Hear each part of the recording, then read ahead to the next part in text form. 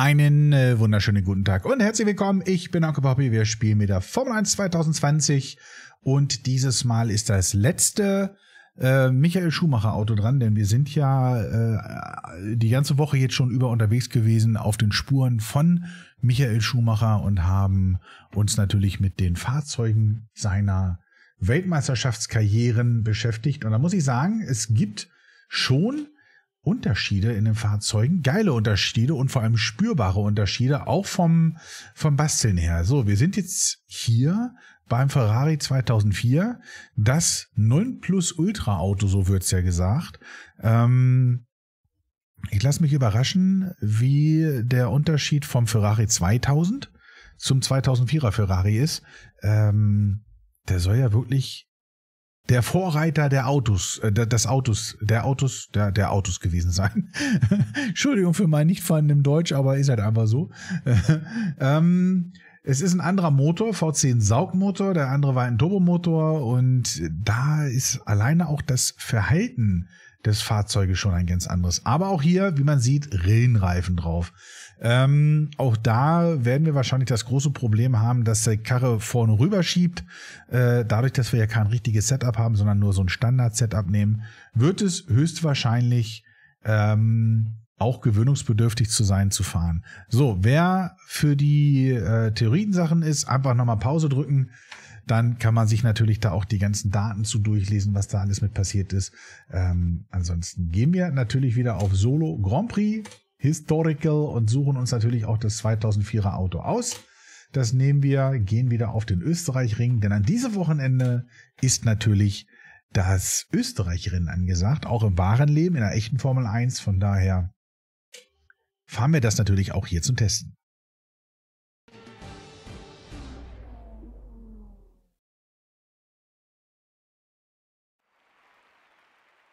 Ja, schade. Ich habe mir natürlich auch hier wieder einen Kommentar gewünscht. Jeden Tag der gleiche Spruch, aber ist halt einfach so. ähm, ja, 2004er Ferrari. Ich habe gesehen, wieso hatten der so einen komischen Overall? Hallo? Äh, nee, ich habe, ich kann mir noch dran entsinnen, wie das damals gewesen ist, wo sie alle mit ihren roten Perücken rumgelaufen sind. Da war Ferrari noch locker nicht so angespannt und angestrengt wie heute, wieder in der aktuellen äh, Formel 1 2020, ähm, sondern da waren die noch echt locker, da waren die cool drauf. Aber das lag auch daran, dass Michael Schumacher sein, sein, also wirklich sein Team bauen konnte, so wie er es gerne gehabt hat und hätte. Das heißt, der ist hin zu, äh, ich, Luca Di Montezemolo war damals noch Chef gewesen, hat gesagt, pass auf, Macker, ich äh, bin willig, aber ich brauche den, den, den, den, den und den. Und so konnte sich das ganze Team über Jahre formen und hat am Ende dann sieben Weltmeisterschaftstitel rausgefahren. Sicherlich einer mal umstritten, andere ganz locker, äh, alle Leute sind angewidert gewesen, so wie es jetzt eben die Phase ist mit Lewis Hamilton, wo Lewis Hamilton natürlich dann äh, jeden Titel holt und das Ganze war damals mit Schumacher auch nicht anders gewesen. Da hat die Welt auch gesagt, oh, Schumacher, der langweilig, der gewinnt ja nur und alle anderen haben keine Chance und so ist es jetzt auch mit Hamilton. Ne? Ist halt so. Und ich sage mal, ja, die damalige Zeit war eine andere, die Autos waren andere, wie im Gegensatz zu heute. Aber das sieht man auch alleine an der Technik in den Frontflügeln, was, was vorne in, der, in, der, in dem Frontflügel drin steckt und was heute drin steckt. Äh, allein dieser Aufwand mit diesen eine Trillion äh, Flaps vorne dran, äh, das gab es damals nicht. Da gab es irgendwie drei, vier Einstellmöglichkeiten, das war's. Und heute ist alles wirklich auf, aufs Trillionstel Millimeter genau abgemessen und äh, ja, keine Ahnung. Steckt halt Technik drin, hoch drei und es ist faszinierend. Das ist das, was mich an der Formel 1 so fasziniert, was man aus so ein bisschen ähm, Messtechniken rauskriegen kann, wie das Auto in dem Moment dann verbessert wird. Und da muss ich sagen, da ist Mercedes tatsächlich schweren Herzens, muss ich das sagen, ähm, ist Mercedes auf dieser Schiene den deutlich besseren Weg gegangen als die Italiener bisher. Red Bull war auch letzten Jahre immer sehr dicht dran, aber hat halt nie wirklich gereicht. Und da muss man auch sagen, da sieht man zum einen, wo kommt die Technik her, die Erfahrung, die Kohle. Ne, Geld spielt auch eine ganz große Rolle. Und da freue ich mich auch drauf. Das können wir aber mal ausdiskutieren in, an, in regulären Rennen. Ähm, da freue ich mich drauf ab 2022, wenn es dann wirklich mit, mit äh, Geldkontrolle geht, mit einer, Ober mit einer Budgetobergrenze. Da bin ich ja mal sehr drauf gespannt, ähm, wie das da so zurande geht. Achso, ich sollte F1 drücken, dass wir auch auf die Strecke kommen. Ähm, wir schauen mal nach, wie sich der Karren hier so verhält.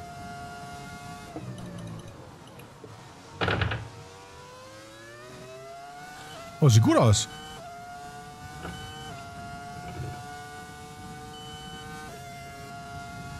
Sieht sogar sehr gut aus.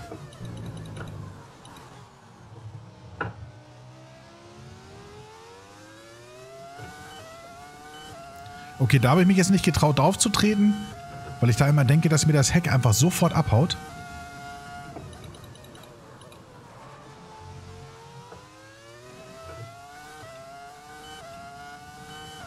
Aber gut, wer nicht wagt, der nicht gewinnt, ne? Oder wie war das?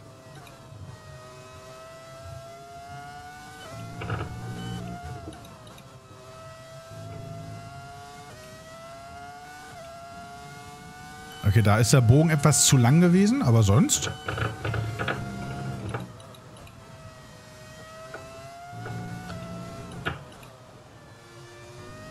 Na, der hätte ich früher auf dem Gas stehen können und dann hätten wir auch einen besseren Platz gehabt als den zweiten. Leute!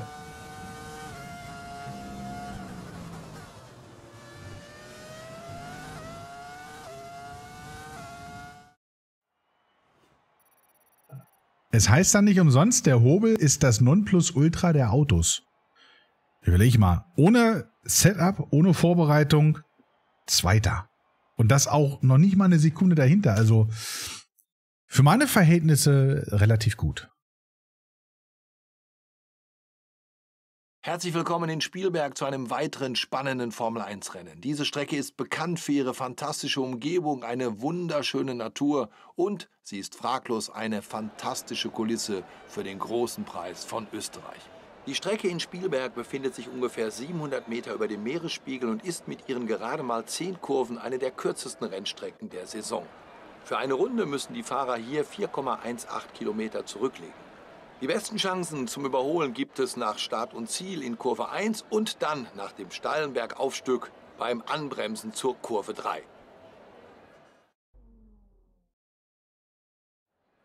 Okay, es ist bewölkt, aber noch trocken. Das ist schon mal ein sehr gutes Zeichen. Ähm, so kann man zumindest mal schauen, dass man äh, die Geschwindigkeit doch nochmal ausfährt und läuft nicht Gefahr, dass man doch noch irgendwie in so einen Regenschauer kommt. Nachteil, Strecke ist kalt, Temperatur niedrig und äh, die Reifen brauchen länger, um warm zu werden. Nur mal so als technischen Hintergrund für die Leute, die es nicht wissen.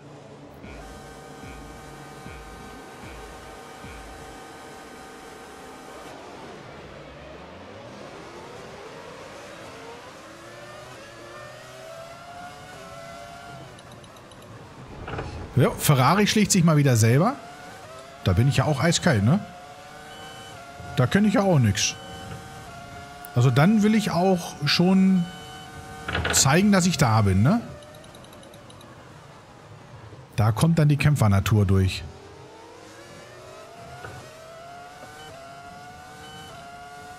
Gut gemacht, Partner. Guter Start. Danke, Mann.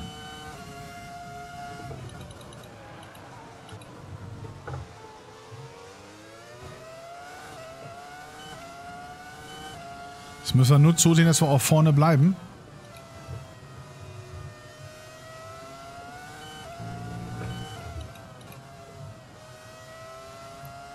Aber äh, rein vom Fahren her, vom, vom Anfühlen, vom Gefühl her, ohne Witz, ne? Das Auto hat nicht umsonst den Status geilstes Auto der Welt. Ist wirklich so. Alter, das musst du mal gefahren haben. Also wenn du dieses Spiel kaufst und du hast die Michael Schumacher Edition, dann fahr einfach mal dieses Auto. Ohne, ohne irgendein Setup einzubauen, ohne zu testen, sondern gleich rein und los. Du merkst hier echt einen Mega-Grip. In diesem Fahrzeug. Da merkst du auch sofort, warum dieses Auto als, als das Nonplusultra gehandelt wird.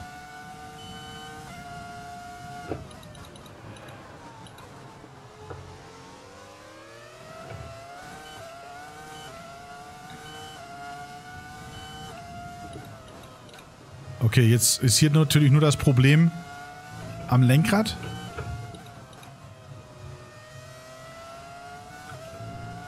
Wenn der Fahrer jetzt noch ein bisschen mehr drauf hätte, dann würde das auch gewinnen. Äh, da liegt es nicht mehr am Auto. Das liegt jetzt wirklich am Fahrer.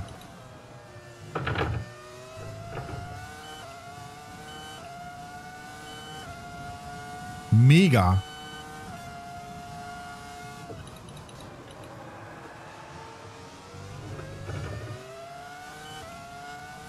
Okay, da habe ich zu spät eingelenkt und dementsprechend die Kurve nicht so bekommen, wie ich sie wollte.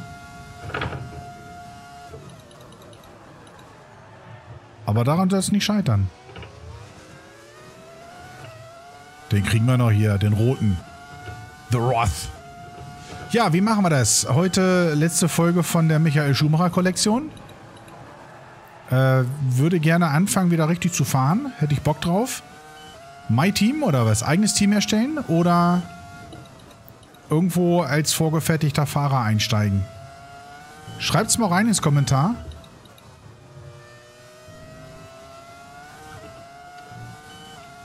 Hätte ich ja schon Bock drauf.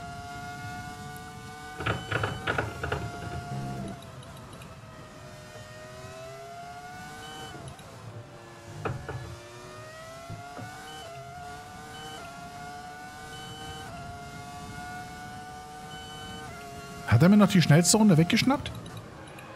Der Snacker?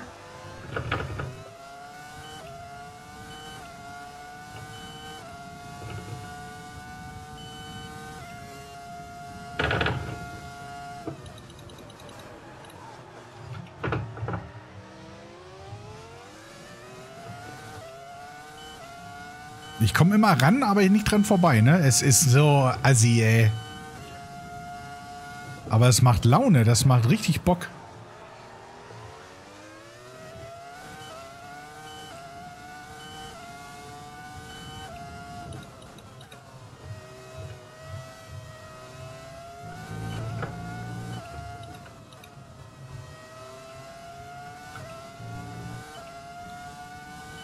Ja, schade, das war's. Oder? Ne, eine Runde haben wir noch.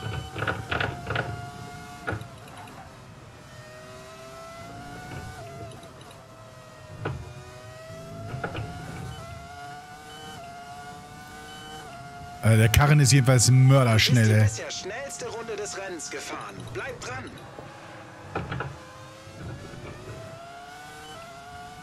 Der hat einen Grip, Alter. Das ist... Oh. Ja!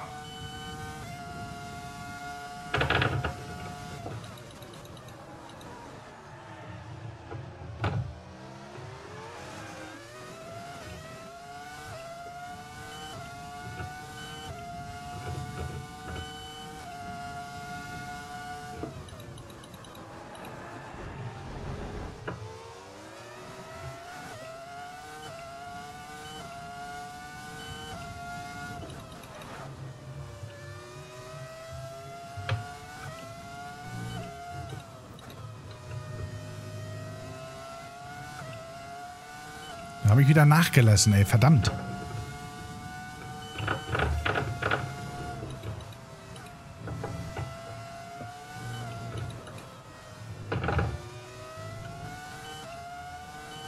Schade, aber saugeil, Alter. Saugeil. Das ist das Ende des Rennens. Wir sehen uns im Park Fermé.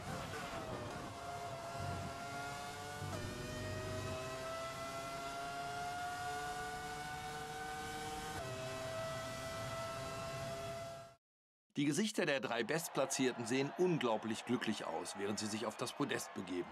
Sie alle haben den Sieg verdient.